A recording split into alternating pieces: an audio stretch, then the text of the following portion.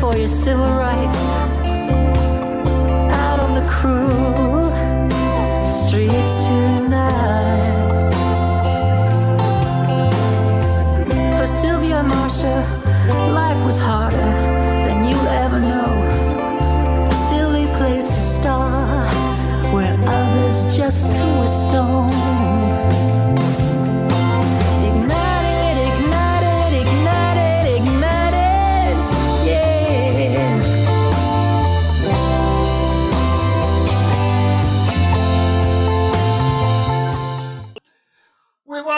today our very good friend from Dublin City Council, uh, Martina Malone. So, Martina, welcome back to Dublin City FM and uh, welcome back to uh, LGBTQ plus life. Thanks, Mick. It's always lovely to be here. Yeah, I mean, the last time we spoke, it was also on Zoom. Um, how do you find? How did you find the um, the pandemic? Do you think it was a there were positives out of it in that sense, particularly in, in terms of uh, the way we work together and even how we communicate together? I I think there's yeah I do actually. I think there's been huge positives. It's like anything else. It took me a little while to get into my groove with working remotely, um, but when I did, I find I enjoy it much better. Now, having said that, I, I think we should always be very conscious as LGBT people about not using our spaces and about not using our uh, real life communication with one another, Zooms and all uh, Teams and whatever other communication tools we're using uh, while we were in lockdown. Obviously, we're very good to keep in touch. However, I th- still think we need to keep an eye on maintaining our spaces because that's what we build our community on, and that's that's hugely important.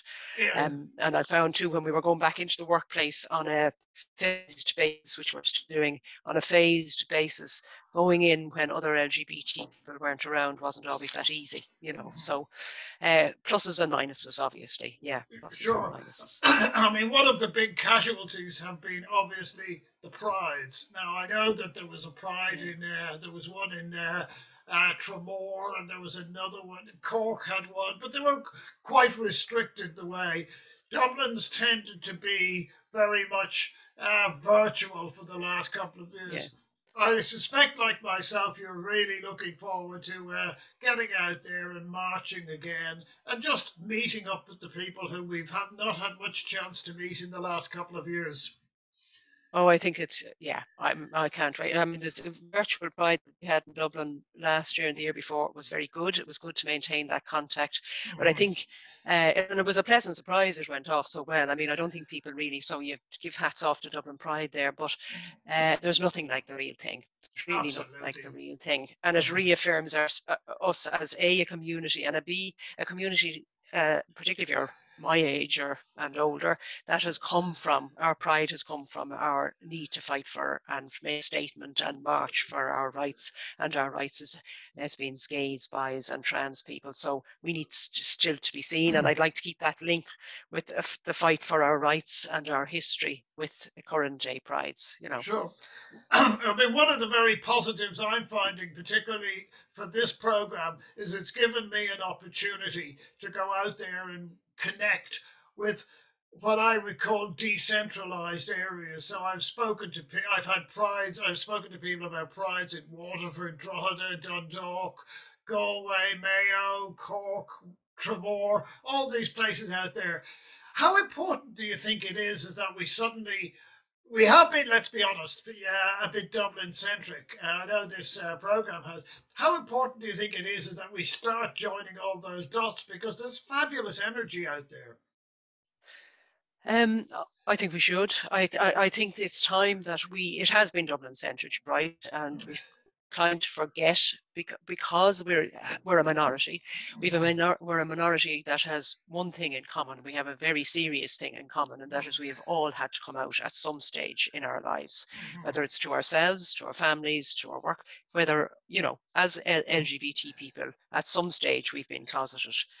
Uh, and more that we have fought for our rights and have acquired our rights, and with marriage equality and uh, the improvements for trans people uh, legally, we need to go back deeper into our communities, I think, because there are people there who are always going to fall off the edge or are not going to be included. And there's great diversity out there. Uh, and that diversity can only enhance and enrich our experiences. So the further into and more deeper into our communities we go, the better I think it will be. Mm-hmm. It can't but enhance our, our, our experiences of ourselves. Yeah, you know? I mean, something I've spoken to you about several times in the past is um, LGBT staff rep associations, particularly in local government. Now, you were a very um, central to establish one in Dublin, and you were very much a mentor to the people out there in South Dublin Council. It doesn't seem to have made the progress that I personally would have liked to see. Uh, is there any more you can tell us about that, or are they still the two only staff, uh, LGBT staff, uh, uh, representative bodies in the country?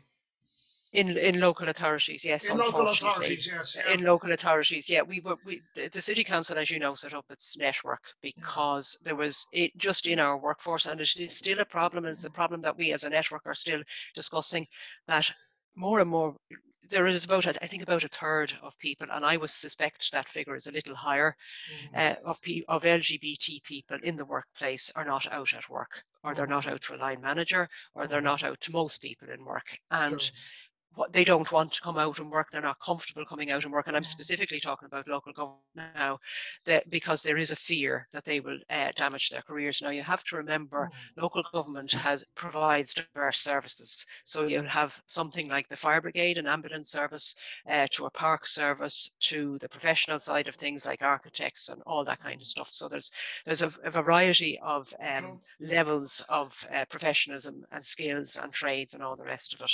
And some of those sections within local government have a have a traditionally uh, macho um, culture, mm, and I'm, I'm I'm specifically talking about the fire brigade, and they don't uh, just have.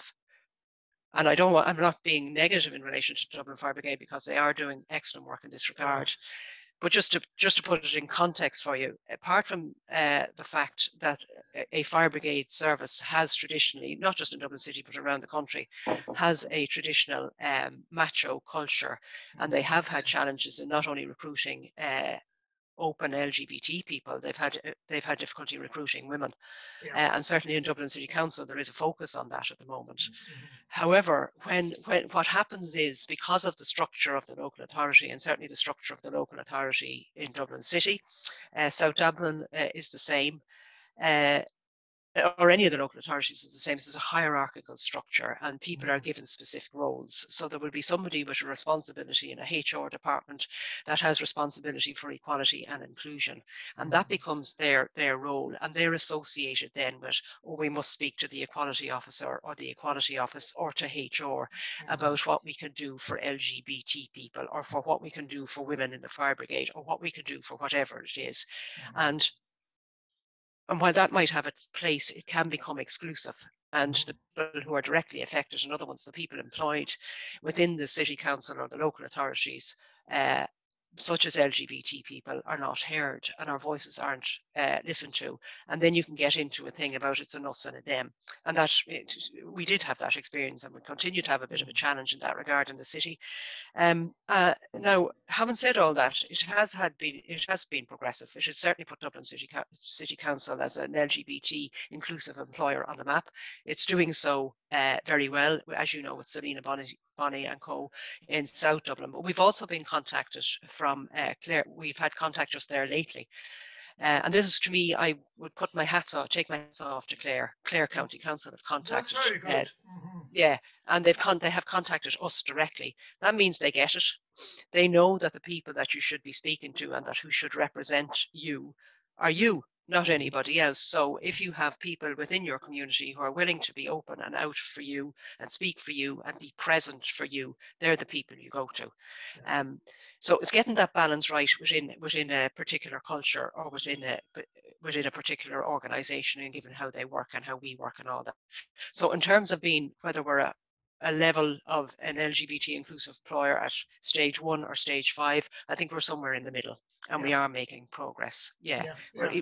you know, um, uh, and we're still seen as kind of rebellious in that regard. That we're, you know, it's a bit, it's a bit, of, we're a bit of a challenge to sort of the status quo, and it's our difference that's the challenge mainly. I think. Um, So, uh, so which is an interesting one, you know. Yeah, yeah. Uh, so, yeah. I have to admit, I'm a bit surprised, and I'd only call it slow progress. I won't be more critical than that. Slow Yeah. progress in Laoghaire-Rathdown and Fingal, Yeah. because these are, I, I, I would have said these are councils that I would have expected to have very similar ethos to yourselves in South Dublin, but yet uh, I appreciate it has to be from, uh, uh, from the ground up. But I was just does, surprised because Fingal this year had a winter pride. Very good, you know. Yeah, they um, did. Yeah. Yeah. But and certainly with Fingal anyway. Although Dunleary did have a uh, did have a rainbow flag during Pride in June last year, Mhm. uh, and obviously with COVID they weren't going to do anything maybe, but they are on their coming out to use that expression. They're coming out uh, and being somewhat more progressive of late. But as you say, it has to be from the ground up. Uh, and uh, Fingal's, uh, F- Fingal and South Dublin are there. They're in touch with Dublin Pride and they're doing stuff for Pride. And they'll do they'll do something this year, and we will probably try contact them contacted them from next month on to try and get something up and running. I think you know. yeah, yeah, yeah. Um, yeah, Okay, well, let's get uh, onto the issue we wanted to discuss today with you, and that's uh, Dr. Patrick McDonagh's book, Gay and Lesbian Activism uh, in the Republic of Ireland, 1973 to 1993. Now, it's a few weeks back since we uh, we uh, spoke to Patrick himself. It largely consists of uh, his his PhD thesis. What Yeah. was your initial impression? Yeah, you've read the book, I appreciate. So, what was your initial impression when you uh, when you completed it? Um, well, I mean, I would I admire the man for for for complete. This is a very erudite study, obviously, and it's something that It's a very it's- academic It's, a- study. it's an academic. It is, yeah, it's an academic study. Uh, so uh, it, it's like very often with an academic study, that sort of warmth won't be there. However, it's a it's a good study to have, and he's gone back to where it kind of the gay rights movement actually started in Ireland, which was in Mhm. in the seventies by a few brave souls, quite frankly. Um, uh, and brought us right up to, de- to decriminalisation of homosexuality. And Mm-hmm. there was a few things I was struck by uh, straight away. The brave of those people back in the 70s. I mean, oh yeah, being gay, lesbian, bi, or trans, particularly, just was taboo. And Yeah. people grew up, well, A, completely invisible. I mean, there was nothing growing up when I grew up. Uh, I was born in the mid 60s, so growing up 60s and 70s and, and into the 80s, where you're terrified. And Ireland was a very uh, hostile place for LGBT people in the 80s. And as you know yourself, Mick, a lot of people emigrated who were LGBT in the 80s yeah. because it just was not a nice place to be.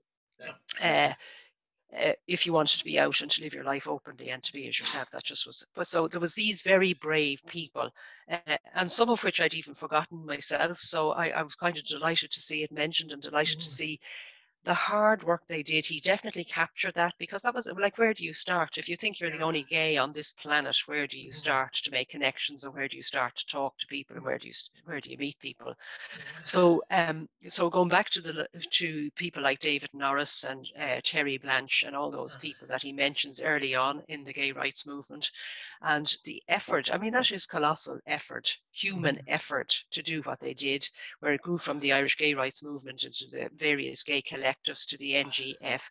the National Gay Federation, and how they made their contacts outside of Ireland and outside of North, uh, uh, including Northern Ireland which I kind of I I mean I wasn't even aware of it at the time Mhm. that the Irish that the Northern Irish gay rights movement was very helpful to to hear and Mhm. particularly so around AIDS raising AIDS awareness and the combat against AIDS uh, in know like it was it's a phenomenal uh, Mhm. research it's excellent research Mhm. um Can I put something to you then? I mean, I know from talking to uh, different people that there was there wasn't unanimity in terms of strategy. Now, David Norris uh, favoured the strategy of going the legal route, whereas others wanted to go the political route. Now, Patrick's book does a very good uh, job at showing how these ultimately coalesced. But um, What's your thoughts on that one? Do you think that David Norris's uh, uh, view on that one it did prevail, but do you think it was the correct one that um, that we mightn't have had the same uh, expedited progress had people have just been out there agitating and having marches and uh, placards and all of that, uh, because he very much brought it to the fore that the law was changed and the law, in, in effect, changed the culture as well. Yeah, I think there's I think it's a there's a few things. Um, I think you're right. I think Patrick McDonagh's book brings all that together and how they coalesced eventually brought it together very well. Um, and I can see place for all of them. I can certainly see, David, if you want to make real change where you have protection and rights in for people, everyday people in your everyday life, then you go down the legal route. Uh, and the, we need it. We need those laws to protect us. That's the way of our society. um, However, I also think what was there helping it were the agitators and the people who were doing uh, definite work. I'm thinking particularly in relation to just human contact. So the people who had the tell a friend, the, the lesbian line eventually. Uh, I'm, I'm thinking of the Cork K Collective who, who had um, allied themselves with other groups, uh, the, the, women's rights movement and how people became attached and associated with them and made contact uh, with them and that they then were becoming allies before the term was even probably coined. And as well as that, then you had um, Mick, Quin, Mick uh, Quinlan uh, and others then who were working in, in terms of educating people in relation to AIDS and the big scare it was. And we all know the horror story that that was for gay men, particularly uh, in the 80s onwards, you know. So, but all, and that. Uh, the AIDS Activists Alliance, I'm not even sure, I can't even quite remember the, their title but they were the ones that were educating with practically no funding mm-hmm. uh, the health services uh, uh, schools everywhere they were there actively doing that until they became exhausted themselves and worn out mm-hmm. so while david norris was banging on and banging on and others uh, with support from others and right to bang on and bang on we had that other stuff that was making an impact into people's lives uh, and making an impact uh, in in from a double-edged sword kind of way, where uh, governments then were being were, were had pressure put on them from these organisations to have a program, to have a commitment to gay rights, a commitment to something, particularly after the European Court found in Norris's favour. There was pressure put on various governments uh, to bring bring in our agenda onto onto their uh, their manifestos uh, and so on, and onto their program from government. Yeah. It worked from a number of angles, I think. Yeah. Can I ask you for your own recollections on this? Because what I said to Patrick is that uh, the, the picture he painted was very much white, middle class, and male. What's your recollection yeah. when you came to Dublin? I mean, uh, you you may not have been out when you came to Dublin. I don't know, but uh, you certainly would have been intellectually uh, out. And I know that you were yeah. very, very, uh, uh, dare I say it, even vocal activist for LGBTQ plus women. But um, were you a um, uh, were you somebody that hung out in the Hirschfeld Centre, or did you um, um, uh, did did you come of age, as we say, with places like JJ Smith's? Because that was one of the things I suggested to him is that uh, he tended to overlook the female meeting places and the female meeting energy that was there that I've heard from talking to you. Yeah, well, that yeah, that is that is interesting. Actually, I'm from I'm actually from Dublin originally. Uh, I, brought up uh, yeah, and I brought up in a in, in a Catholic household, more than any most people in the south were.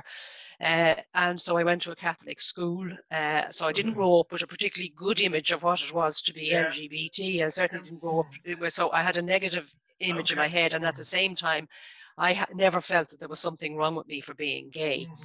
I did go through the thing of thinking, oh God, I'm the only one on the planet and this is awful and I'm going mm. to be miserably lonely forever and ever and ever. Mm. Uh, and I remember one time I went to school uh, in the city centre, as it happens, I went to Loreto College and I remember one day uh, on the way home after school, I was standing at a bus stop. I usually used to walk home to Glasnevin, but I, uh, but I was. was that Loreto yeah. in the green? Yeah, yeah. and I was standing, I, I was at a bus stop waiting to go home, and a woman mm. at the bus stop ahead of me. So this would have been sort of maybe 1980 ish kind of time. when I was about 15, 14 or 15, and, was, and I had my school bag on, and so I had my school uniform, so I would have been recognizable as to what school I was coming from. Okay. Uh, and and uh, older than me, but obviously a younger woman had a, a, kind of a bag over her shoulder and a badge stuck on it saying lesbian line ring such a thing. And i was I remember at the time saying to myself will i actually talk to her? But i was so self-conscious in my uniform i missed an opportunity there you know? Mm. so uh, it was so at the time when i was in my teens I, I was finding it very very difficult to come out. Mm. Very very difficult at the time but you're talking about 1980 1981 sure, yeah, yeah. Uh, and I didn't really know where I should go. Do you know? do You know, because you didn't see it. Uh, yeah, you didn't see it in in the media, and you didn't see it anywhere. And I remember seeing Joni Crone on the Late Late Show, so that was in around 1980 as well. Uh, and I remember being absolutely delighted because I was sitting there watching the Late Late Show with my mum on one side of, of the sofa, my father in in his armchair watching it. and I could feel my face burning, but I was absolutely thrilled. And the three of us watching it together never commented one word about yeah. the Joni Crone interview. So yeah. that was the kind of atmosphere you were living in. That's what your formative years were made up of. And I remember thinking, but I didn't think about it until afterwards how brave Joni Crone was yeah. uh, to do that. And I know that she had a bad time afterwards. Now, she did get good media. Uh, I know from the Late Late Show following that, when Gay Byrne was reading out his letters that he received following her on, some were negative, some weren't. And uh, but it starts thinking, okay, so there's more like me around here. Mm-hmm. And to come back to your question, I mean, he does, he does actually, without maybe saying it so much, he does talk when we we're talking about Lil. Um, liberation for Irish lesbians and wanting a women's only space and coming together with the National Gay Federation or whatever it was at the time and having a space for a women's only disco in the Hirschfeld Centre. Mm-hmm. Uh, was very difficult because once women were going to these places, it was and women were very kind of their place was in the home. Even yeah. in the 80s in yeah. Ireland, their, the marriage bar was only lifted in the 70s, so you were very much in the home. And if you were going to go into these places, uh, and bear in mind, it was only in Dublin. You were going to go into these places, were nearly sort of putting a badge on you saying, I'm a great big gay, I'm a great big lesbian. Yeah. Mm-hmm. So it would have been very daunting for women to do that. Uh, and notwithstanding, most people who weren't LGBT probably wouldn't have known what the Hirschfeld Centre was for, you know. Yeah. Yeah. or wouldn't have consciously known. So that fear that was there, I certainly lived with that fear in the early 80s. So it took me a while. It wasn't until it went to JJ's uh, when I went to JJ's. So I kind of missed the wonderfulness of the Hirschfeld Centre. And it wasn't until the women's nights went to JJ's that I started to go that there. And I think I probably made a come, come across that by accident, sure, you yeah. know, one day. Yeah, yeah. you know. Can, can, I ask you then again, and this is uh, for your experience, at, at the moment I'm engaged on a project and it's to tell the personal stories of um, working class lesbian women many of whom perhaps would have had children, certainly would have been married. Do you think the experience for working class women was different? I mean, you having gone to uh, Loreto in the Green, you're obviously yeah. middle class, and I'm not going to be derogatory yeah. about yeah, that. Do you think no. the experience was different for working class women, just as it probably was for working class men? Yes, I do. I think the people who have, and but that's it's reflecting society. The people who speak for people, or the vo- spokespeople, are middle class, generally, what well, in our Irish society, middle class, white, educated males mainly. Mm. So getting, reaching out, and that's why I'm talking about earlier on than when I mentioned reaching out and, and going into our communities at a much more deeper level to discover the challenges that we did or didn't have. Mm-hmm. Uh, and I would say, and uh, a lack of see because certainly in terms of me being middle class as you point out that middle class the church were very much in control of the schools very uh, much. still are yeah still so very much so degree, yeah. yeah they still are yeah um so the the middle class education that i got was from a catholic was a catholic christian uh, mm-hmm. middle class education, and it was anything but positive in relation to being LGBT, yeah. uh, and it wasn't even positive in relation to women. Yeah. So um, and at the same time you need to create that space which probably wasn't created and certainly probably still isn't created for a more working class uh, Mm-hmm. um, engagement or working class involvement is to what. Uh, and it was the likes because I did go on um, a good bit a good while after I left school and work in Pavee Point. So I was working with in the NGO sector and in the community sector uh, for a while before I went to before I joined Dublin City Council. So I would have had an engagement where there was low take up on uh, higher, higher education uh, and in those communities. Uh, and the lack of um, education, what I'm trying to say is that certainly the secondary school education, if it was to come to sex, teaching on sexuality or sexual mores, was always very negative. I think the lack of education in relation to what people were able to gain access to education from working class probably would have had a very negative impact on how they perceived difference as well, difference Sure, in yeah. relation to sexual orientation. I have Yeah. to say, um, I, I can recall that I uh, going to Pride, and I think it was about 2007, 2008. It was before Pride had become uh, the big event that thing. it is now, the march. Yeah, and I remember going on the march from Parnell Square, and I think that was when it used to go to uh, uh, Wood Quay, uh, the civic offices down there. What really right. impressed me at the time was the number of working class females that were on it. Um, it was extraordinary. Now, they may have all been grouped together. And that was when I realized yes, this is a movement that has energy. This is a movement that has legs. And this is a movement that is going forward. Um, and uh, as I say, it, it may have just ended up being a side issue if those uh, if those groups hadn't have come together. Was that something that I know from uh, your time at JJ's that that was a space where people could come together? Is that your recollections of JJ's? Well, actually, some of my friends from quite a while ago, and particularly when I, I, s- I I think I've said it before, Mick, that when I, I had lived in, in Galway for a while and I came back to Dublin, Yeah. uh, and then I was working in, in, I was working with travellers and in the NGO sector, and I was finding that where am I going to meet nice women and all that, and I, I Uh-huh. joined Swimming Women, Uh, and then there's JJ's and there's that kind of stuff, and I was involved with Pride and to a very lesser extent not. But it is amazing. See, that's the beauty of the LGBT wider family or the wider community. yeah, Every one of us are from we. Every one of us have a different background. Uh, whether we're, I know what you're talking about, the predominance of white middle class male spokespeople. However, um, we could we we traverse everywhere. We're everywhere, basically. Yeah, You know that slogan yeah. from the 70s and the 80s. The gays are everywhere, Mm. and we're in every community, and we're whether it's rural, whether you're black from whatever country or background you are, we're there and that and that is always about the LGBT family, wider family, is that we're made up of a multitude of cultures and we have a very diverse uh, community. And to tap into that, and we need we need to keep challenging our own perception perceptions of difference. So certainly that energy that you're talking about, working class energy, that feisty thing. yeah. Uh, sometimes people have that feisty thing if they think they've less to lose. Do you know what I mean? I don't sure. mean that in the derogatory way. Yeah. But I got to, I mean, I, I put it to you uh, myself in just in relation to my workplace.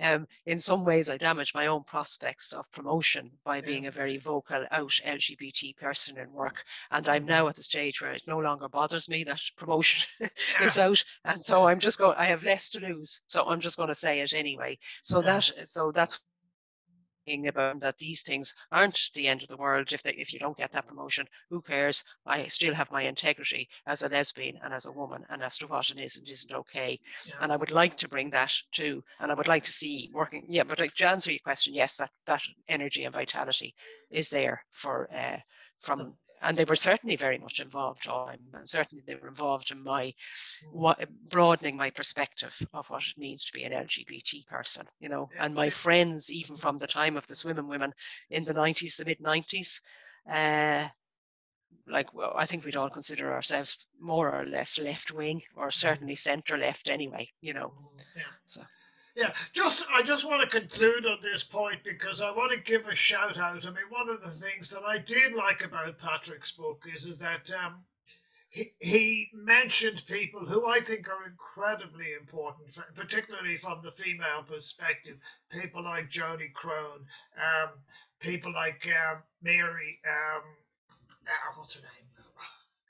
Yeah, Mary. I I can't think of Mary's. I can't think of Ward's job. Yeah, no, uh, Nuala Ward even people like Nell McCaffrey and things like that. Who were the important people um, that were that, that you recall from that time and who really were trailblazers? The Trailblazers. Oh wow, there's a few of them. There were and there were people, uh, and I have to say, you have to give a shout out actually to people at Cork. But uh, Mary Dorcey is Mary Dorcey, there. that's who we Mary looking- Dorcey, yeah, Mary sorry, Dorcey, yes, Mary yeah. Dorcey, uh, Yeah. Terry Blanche. Uh, in terms of women now, Mary Dorcey, Yeah. Terry Blanche, Gráinne Healy, even though she was kind of Of at the back, she was there. She was there with the women's movement. Uh, Orla Egan in Cork, Yeah, um, Anula Ward in Galway. Uh, and there was another woman there in Galway, I think, and I'm sorry, I'm, I'm going to forget her name now, but she was in very much in the background and she did Yeah. stuff, uh, I think from her sitting room or something. You know, these these are fantastic people as far as I'm as far as I'm Oh, concerned. And we also giant- have uh, yeah, giants. giants, uh, Yeah. serious, serious giants. Yeah. Ailbhe Smyth, of course, you couldn't, course, you yeah. can't, yeah, you know. Mm. And as you say, Nell, but those feisty women there who Yeah. wore their lesbianism on their sleeve, I think Yeah. they're just great. And Joni has to be up there. Oh, so to me, jo- fantastic. yeah. Is the Reverend Mother, really, isn't she? Even though Oh, she really is. Yeah, Yeah, no, she seriously is. Yeah, Yeah, absolutely. yeah. Uh, the other the other thing though, and um, um, the other thing there, just to say, uh, he did refer to Edmund Lynch's interviews that he did with people, and uh, I, and I was delighted to see quotes from one of these people. These kind of things. He was talking about the Cork weekend, and he quoted uh, Mary Flanagan. Uh, saying that she just appeared down. Uh, These things. She came from the west, I think, was from Galway or something. She was she was a teacher, and she somebody had mentioned to her about this Cork Women's Fun Weekend, and down she went, and I think she went every year after.